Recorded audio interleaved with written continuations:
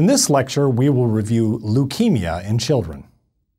So, leukemia is the malignant transformation and proliferation of hematopoietic cells. So we have acute leukemia, which is a clonal expansion of immature precursors, and we have chronic leukemia, which is mature bone marrow components that are then becoming clonal. So symptoms can occur from a lack of normal bone marrow cell production or from accumulation of malignant cells in tissues that otherwise shouldn't have them.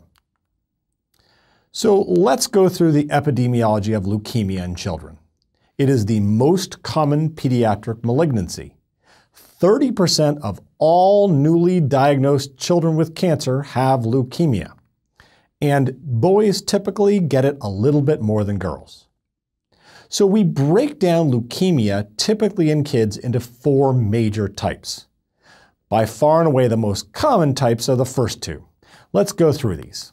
First, we have acute lymphoblastic leukemia.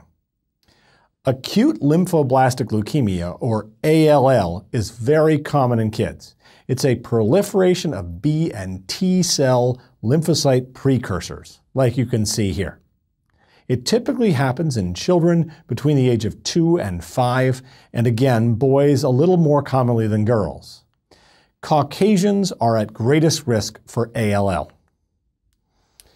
Comparing that to AML, which is acute myelogenous leukemia. AML is a clonal, proliferation of myeloid precursors. So there are many subtypes of AML based on the morphology of the cells that are growing and the cytogenic translocations that have occurred, which cause these cells to become clonal in nature.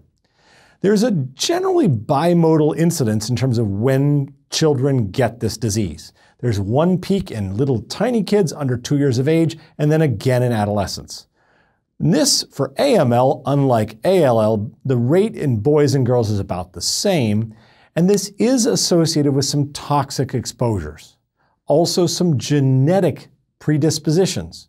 For example, children with Down syndrome have a 50 fold increase in their risk for AML. Remember that Down syndrome and AML, strong association. Now we would switch gears to chronic disease, and this is chronic myelogenous leukemia, which is less common in kids. This is an uncontrolled growth of myeloid cells, and the incidence increases through childhood and adolescence. Often these patients have a fusion protein, the BCR-ABL gene.